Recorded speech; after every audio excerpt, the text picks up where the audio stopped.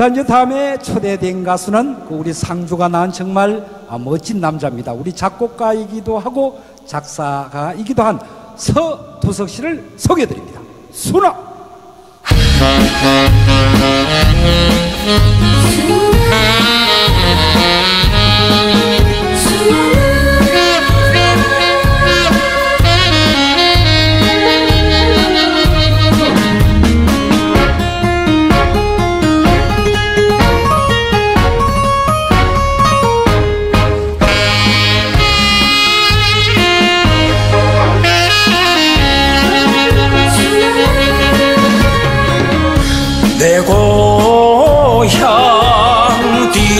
동산에 진달래 피며 시내가 버들피리 꺾어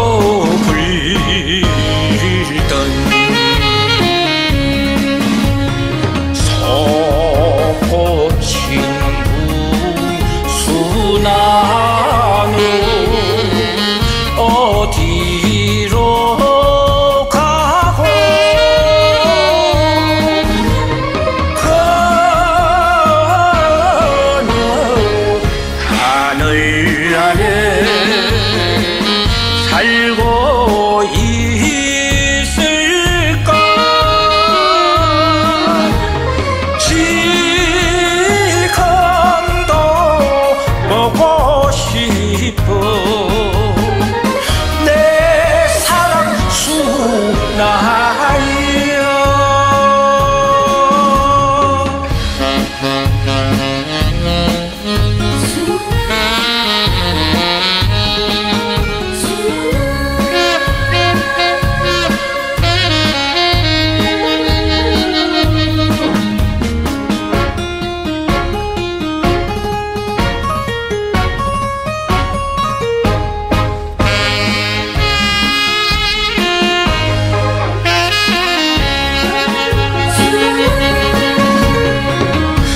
내 고향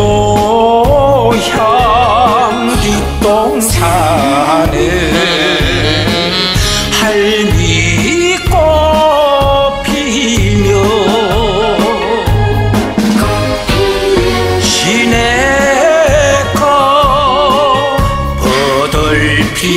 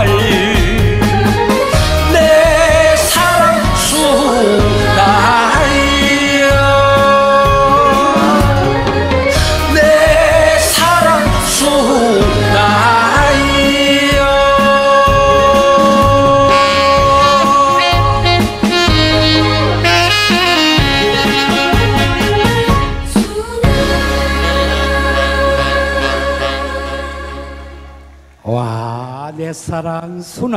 순아 많은 사랑을 앞으로 당부를 드리겠습니다.